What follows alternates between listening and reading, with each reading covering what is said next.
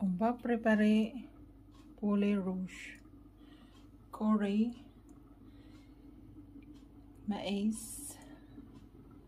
bamboo, aubergine, poulet et lait de coco.